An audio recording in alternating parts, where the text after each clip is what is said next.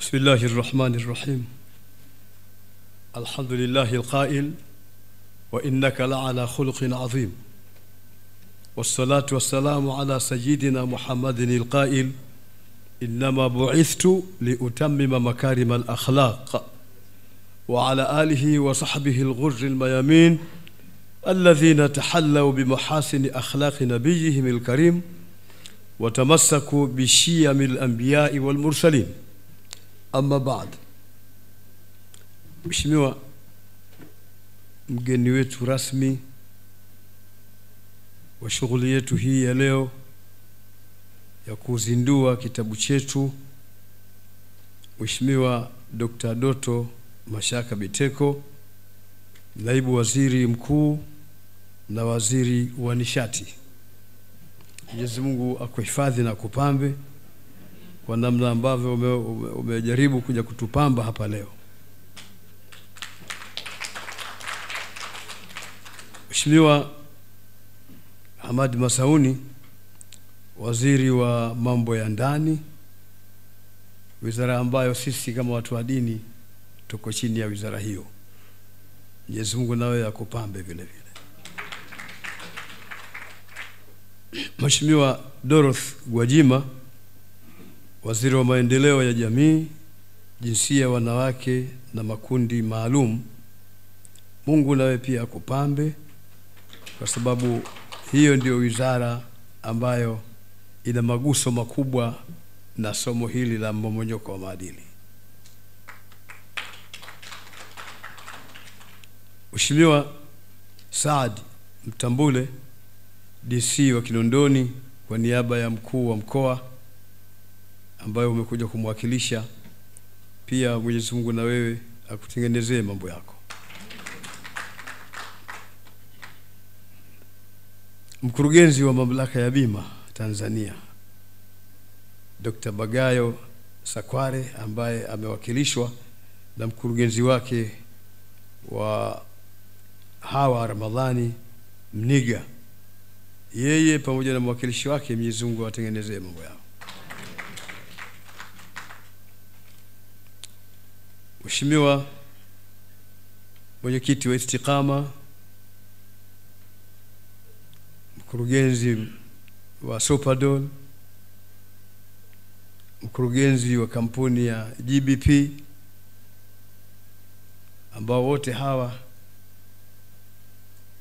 wamekuja kuwakilisha kujiwakilisha wao wenye- wenyewe, lakini na kampuni zao. Mwenyezi Mungu na wafungulie mambo yenu. Mimi najua mnavujiwa, lakini mnashindwa kuondoka kwa sababu yangu. Si Mwenyezi Mungu atatengeneza mambo yenu inshallah. Mwenyekiti wa CCM wilaya ya Kinondoni Bwana Shaweji, tunakushukuru sana kwamba umeweza kufika. Wajumbe wa Baraza la Ulama BAKWATA Taifa wote mliohudhuria kwenye jambo lenu, katibu mkuu wa baraza Bwana Nuhu Mruma pamoja na msaidizi wake, lakini mwenyekiti wa halmashauri kuu bwana Sheikh Hamis Said Mataka, katibu wa baraza la ulama Sheikh Chizenga, katibu wa mufti Sheikh eh, Musa bin Hamed Bujuma bin Hamed, mwenyekiti wa bodi ya wadhamini Baraza Kuu la Waislamu Tanzania Mheshimiwa Suleiman Kova Alhaji, Mheshimiwa mashekhe wote wa wilaya, mashekhe wote wa kata, mashekhe wote wa taasisi mbalimbali mliokuja, Mheshimiwa Azim Deuji ambaye alipata taarifa asubuhi, lakini amekuja. Jamaa yangu sana wa karibu. Mwenyezi Mungu amtengenezee na yeye mambo yake. Mheshimiwa waandishi wa habari, vijana wetu wasanii ambao wamehudhuria, na nyinyi, Mwenyezi Mungu awatengenezee mambo yenu. Wanaweza wakaona watu, kwa nini tumewaita wasanii? Wasanii ni watu wanafikisha habari kwenye jamii kwa wepesi zaidi, na haya kwanza sasa hivi ya mambo, ila mwenye elimu ndogo tu ya mambo yamezungumzwa zamani sana na wa- Zamani wasanii ilikuwa ni washairi, ina Almutanabbi, kina Albuhturi, kina Antara na wengineo, na washairi jahilia na Islamia, na maneno yao yamechukuliwa katika kutoa ushahidi wa mambo mbalimbali. Ndio maana mnaona sisi, kama atakuwa mtu anauliza kwa nini mmewaita, tumewaita kwa sababu mazingira yanahukumia kuwaita. Mwenyezi Mungu atawatengenezea na nyinyi mambo yenu.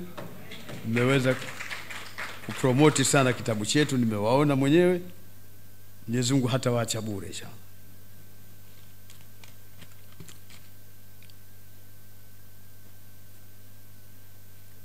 Kuna mheshimiwa mmoja mwenzetu sana, jamaa yangu huyu, ndugu yangu Alhaji Idi Azan, ambaye huyu hatuachi katika mambo yote.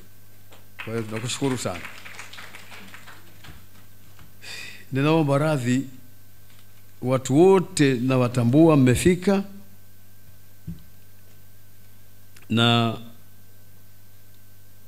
kama mlivyotajwa na msemaji wetu mara ya kwanza kwa namba ile, ingawa pia ina upungufu, niseme kwamba nimewatambua wote kuhudhuria kwenu. Mwenyezi Mungu atawatengenezea mambo yenu, na huko akina mama wote nawatambua vile vile. Alafu nimefurahishwa, kuna wasanii vile vile wakina mama nimeona wamekuja, ili jambo la kufurahisha vile vile.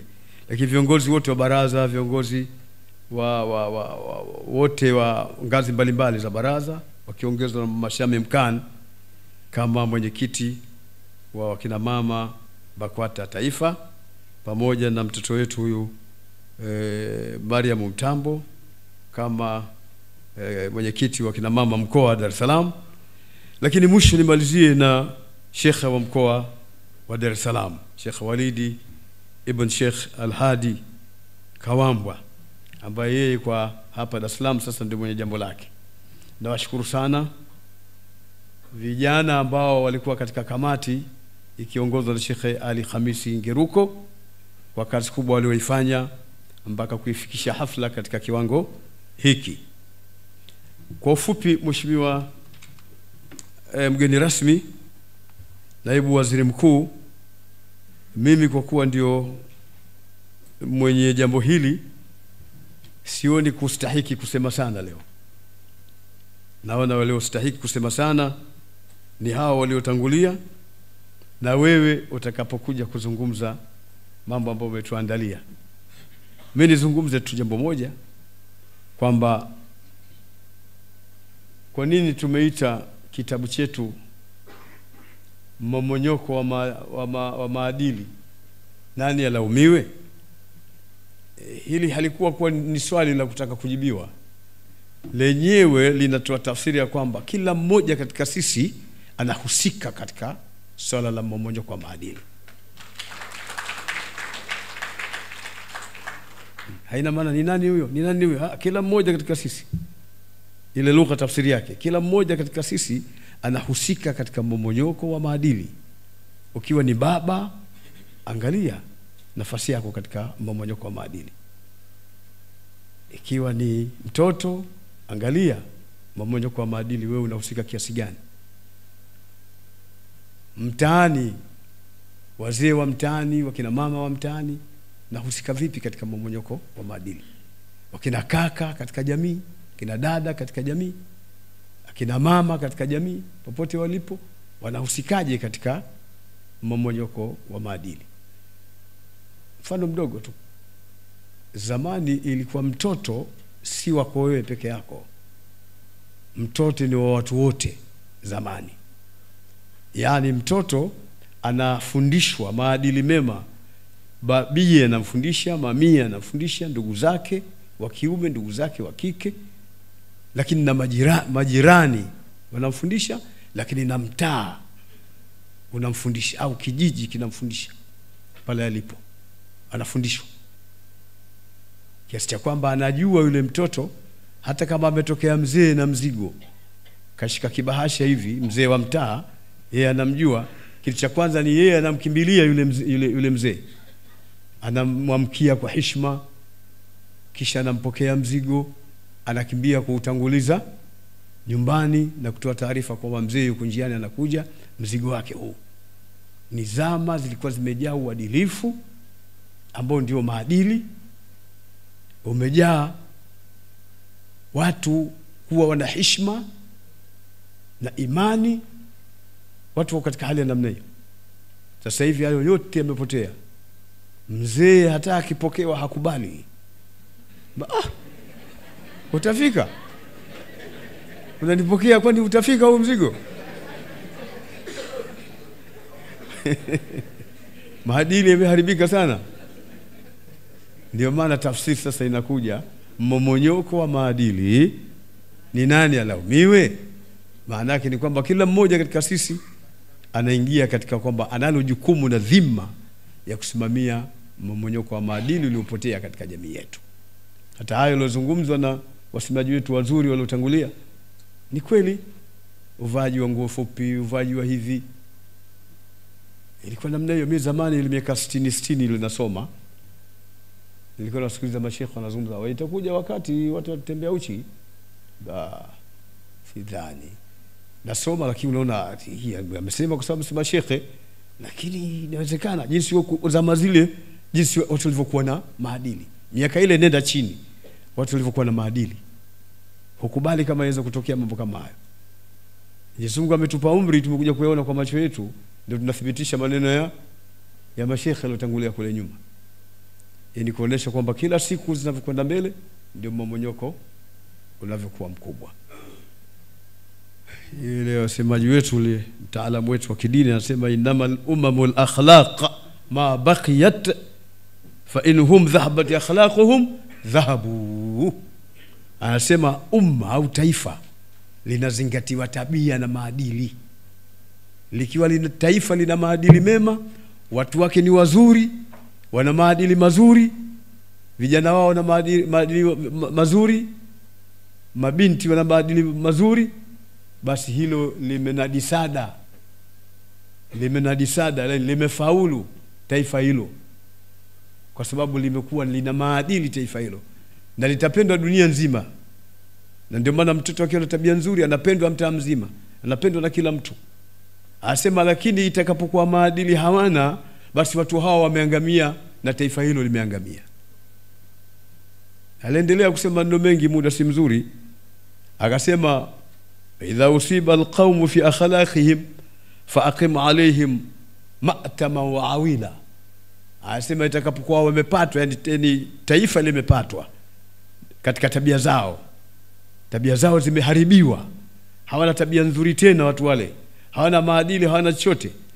Asema wakitie matanga na kilio, wakitie matanga na kilio, yani walilie watu hao, wamekufa hao, wamekufa watu hao. Hakuna mtu hapo, hakuna taifa hapo, hakuna kabila hapo, hakuna watu hapo. Hawa watu wanatakiwa kuliliwa kama vile watu waliopata na matanga wamefelewa na ndugu yao, ikawa kila mmoja alia kivyake, ndio watu hao. Kwa hiyo hilo ndio limetusukuma Mheshimiwa Naibu Waziri Mkuu na mgeni wetu rasmi kuona tutengeneze kitabu chenye maneno mafu- mafupi ambayo akiyasoma mtu ataelewa anaashiriwa nini afanye kutokana na kitabu hicho, na ni kitabu ambacho kitakuwa na uboresho. Kila muda unapokwenda tutakiboresha, kila muda unapokwenda tutakiboresha, manake kufuatana na, na, hata hayo maadili yenyewe kule kuharibika kwake kunatokea namna nyingi mbalimbali mbali, kwa kila siku. Kwa chenyewe kinakubali kuboreshwa. Na kinakubali rai za watu wanaoweza kuleta rai zao kwa ajili ya kuboresha zaidi, lakini hili ni toleo la kwanza. Matoleo mengine yatakapokuja, tutaendelea kuboresha zaidi, na kama tulivyosema, tumefanya hivyo na tumesukumwa baada ya kuona kwamba e, taifa letu linapatwa na mmomonyoko mkubwa sana wa maadili. Lakini nizungumze kingine kwamba tutamwomba, tunaomba kwa mgeni rasmi kitabu hiki mbali ya kutumika katika sehemu mbalimbali ambazo Mheshimiwa Waziri wa Mambo ya Ndani amezungumza na Mheshimiwa Dorothy hapa amezungumza, lakini pia kikitumika mashuleni pia itakuwa bora zaidi. Kitumike na mashuleni, kitabu hiki kitakuwa bora zaidi.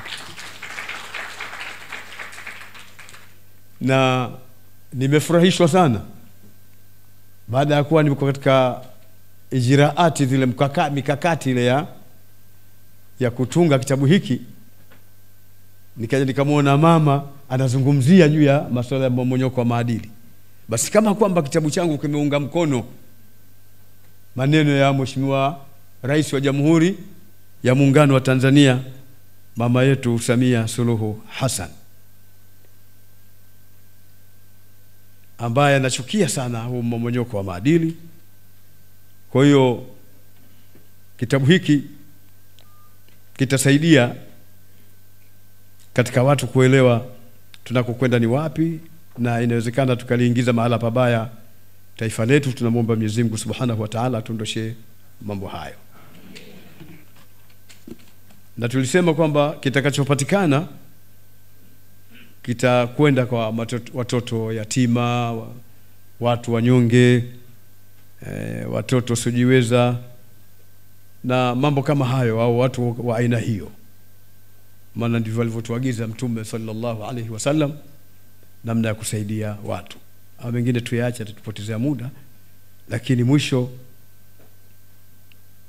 kitabu hiki pia tumeandaa kutarujumiwa katika lugha ya Kiingereza na katika lugha ya Kiarabu, katika lugha ya Kiingereza na katika lugha ya Kiarabu.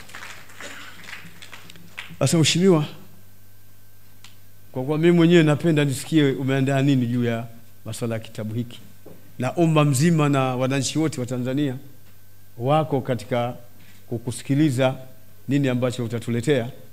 Ni kuombe mheshimiwa, uchukue nafasi hii uende ukazungumze na Watanzania wote kwa ujumla yale yanayofungamana na kitabu hiki na mengine ambayo hafungamani na kitabu hiki, lakini yana maslaha na taifa letu la Tanzania. Karibu sana mheshimiwa.